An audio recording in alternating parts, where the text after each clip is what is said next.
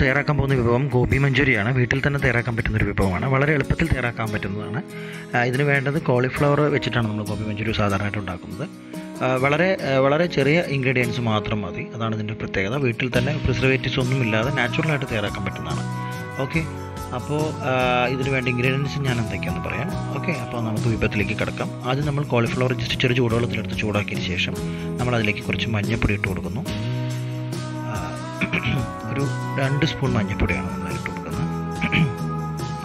നമ്മൾ ആദ്യം ഇത് ചെറിയ ചൂടുവെള്ളത്തിലിട്ട് ഒന്ന് ചൂടാക്കി ഒന്ന് ചൂടാക്കി എടുത്താൽ കാരണം അതിന്റെ എന്തെങ്കിലും പുഴുക്കളോ അങ്ങനെ വല്ലതൊക്കെ ഉണ്ടെങ്കിൽ പോകാനാണ്. പിന്നെ മുളക് പൊടി നമ്മൾ ചേർത്ത് കൊടുക്കും. മുളക് പൊടി ഈ പറഞ്ഞ പോലെ തന്നെ രണ്ട് വലിയ സ്പൂണിന് അത് എരിവിനനുസരിച്ച് കൂട്ടാം കുറയ്ക്കാം. ഓക്കെ രണ്ട് സ്പൂൺ മുളക് പൊടിയാണ്.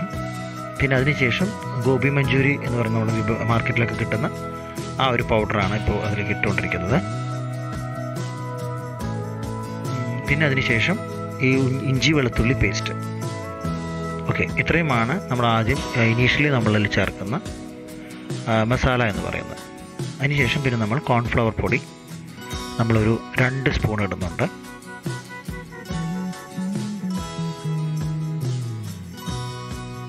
അതിനുശേഷം നമ്മളതെല്ലാം കൂടി ഒന്ന് മിക്സ് ചെയ്യും. ഇപ്പം മിക്സ് ചെയ്യുമ്പോൾ വെള്ളമൊന്നും നമ്മൾ ചേർക്കരുത്. വളരെ റഫായിട്ട് ചേർക്കും. അതിനുശേഷം ഉപ്പ് നമ്മൾ ചേർക്കും. രണ്ട് സ്പൂൺ ഉപ്പ് ചേർക്കും. അതിനുശേഷം ഒരു കോഴിമുട്ട ഉടച്ച് പാരും അപ്പോൾ അതാണ് ഒരു ലൂസാവും അപ്പം നമുക്കത് എന്താ പറയുക മിക്സ് ആയിട്ട് എടുക്കാൻ എളുപ്പമാണ്. വെള്ളമൊന്നും ചേർക്കേണ്ട ആവശ്യമില്ല. കോഴിമുട്ടയുടെ ആ ഒരു ലിക്വിഡ് പോലെ ആയതുകൊണ്ട് നമുക്കത് വളരെയായിട്ടും മിശ്രിതം നന്നായിട്ട് അതിൽ പിടിക്കും. പലതരത്തിലുള്ള ആൾക്കാർ ഉണ്ടാക്കുന്നുണ്ട്. ഇത് ഞാൻ ജസ്റ്റ് ചുമ്മാ ഒരു ഒരു ട്രൈ ആണ്. നന്നായിട്ടുണ്ടായിരുന്നു. അപ്പോൾ നിങ്ങൾക്ക് ഇഷ്ടപ്പെട്ടാൽ നിങ്ങളൊന്ന് ട്രൈ ചെയ്ത് നോക്കുക. ഓക്കെ നമ്മളത് നല്ലോണം മാക്സിമം അത് എല്ലാ എന്താ പറയുക എല്ലാ കോളിഫ്ലവറിന്റെ എല്ലാ ഭാഗത്തേക്കും അത് പിടിപ്പിക്കുന്ന രീതിയിൽ നമ്മളതിങ്ങനെ തേച്ച് പിടിപ്പിക്കുക.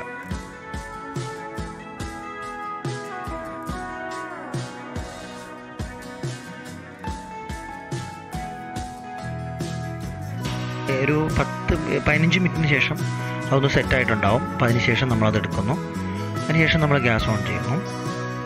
ചട്ടി വയ്ക്കുന്നു സൺഫ്ലവർ ഓയിലാണ് നമ്മൾ ഉപയോഗിക്കുന്നത്. വെളിച്ചെണ്ണയിൽ ഉണ്ടാക്കാം. പക്ഷെ നമ്മൾ സൺഫ്ലവർ ഓയിലാണ് ഉണ്ടാക്കുക ചെയ്യുന്നത്. അപ്പോൾ ചട്ടി ചൂടാതിന് ശേഷം നമ്മൾ ഓയിൽ ഒഴിക്കുന്നു.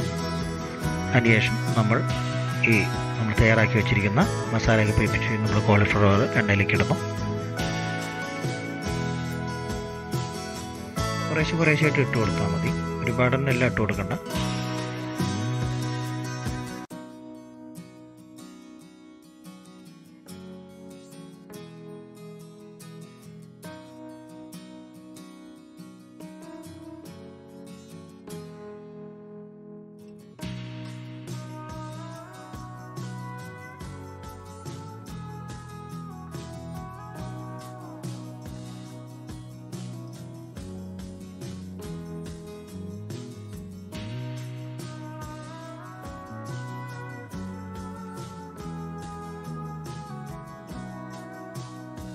ഇത് വരുന്ന സമയത്ത് നമ്മളത് ഒന്ന് അങ്ങോട്ട് നമ്മൾ മറിച്ച് കൊടുക്കുക.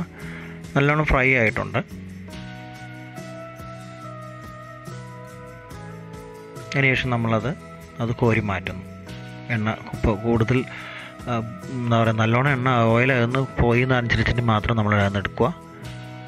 അപ്പോൾ നമുക്ക് എന്ത് ഓയിലായാലും നമുക്ക് ഓയിൽ അത്ര നല്ലതൊന്നുമല്ല ശരീരത്തിന്. അപ്പോൾ വളരെ ഓയിൽ ഫ്രീ ആയിട്ട് നമ്മൾ കഴിക്കാൻ നോക്കുക. ഹെൽത്തി ആയിട്ടിരിക്കുക പരമാവധി ഓയിലാകുന്ന കളയുന്നവരെ നമ്മളത് അതിനുശേഷം നമ്മൾ മാത്രം എടുക്കുക. ഓക്കെ പിന്നെ അതിലേക്ക് ചെയ്യുന്നത് നമ്മൾ ആദ്യം കാണിച്ച തക്കാളിയും ഉള്ളിയും. സ്ലൈസ് ചെയ്ത് വെച്ച് ഇതേ ഓയിലേക്ക് തന്നെ നമ്മൾ അതിലിടുന്നു. അതിനുശേഷം നമ്മൾ ജസ്റ്റ് ചുമ്മാ നമ്മളതൊന്ന് അങ്ങനെ വഴറ്റി ഉള്ളി ഒന്ന് വഴറ്റിയതിന് ശേഷം തക്കാളി ഇടുന്നു. എന്നിട്ട് അതൊന്ന് ചെറുതായിട്ട് നമ്മളിങ്ങനെ ഒന്ന് ഒന്ന് ചെറുതായിട്ടൊന്ന് ഒപ്പിച്ചെടുക്കുന്നു നമ്മളിതിൽ വേറെ ഇനി ഇതിൽ വേറെ മസാലകളൊന്നും ചേർക്കുന്നില്ല. മാക്സിമം മസാലകൾ കുറച്ചുണ്ടാക്കുക എന്നുള്ളതാണ് ഞാൻ നോക്കിയത്. ഗോബി മഞ്ചൂരി പൊടി തന്നെ വളരെ കുറച്ചേ ഉപയോഗിച്ചിട്ടുള്ളൂ. അപ്പോൾ വളരെ നാച്ചുറൽ നമ്മൾ വീട്ടിലുണ്ടാക്കുമ്പോൾ ഷോ ഹോട്ടലിൽ പോലെ അല്ലെങ്കിൽ വലിയ സെറ്റപ്പിൽ ഉണ്ടാക്കുന്നത് വളരെ സിമ്പിളായിട്ട് പെട്ടെന്ന് ചെയ്യാൻ പറ്റുന്ന രീതിയിലാണ് ഞാൻ ഉണ്ടാക്കുന്നത്. വളരെ മസാല കുറച്ചുള്ള നാച്ചുറൽ സംഭവം.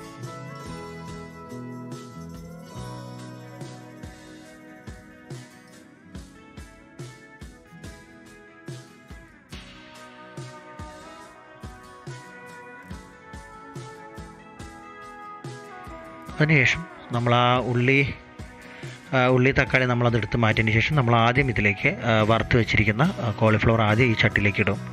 എന്നിട്ട് നമ്മൾ അതിലേക്ക് ടൊമാറ്റോ സോസ് ഒഴിക്കും.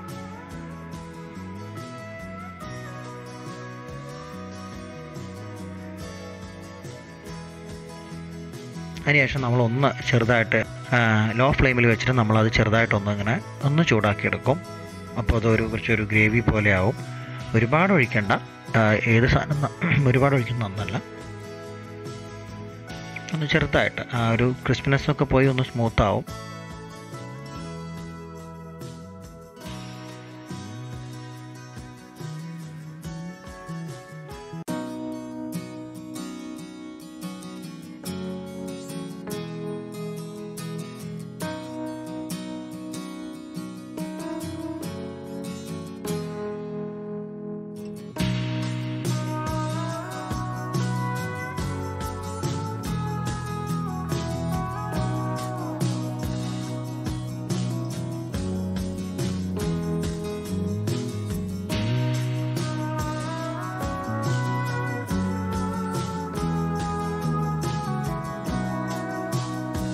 ചെറുതായിട്ട് നമ്മൾ അതിങ്ങനെ മൂപ്പിച്ചെടുക്കും.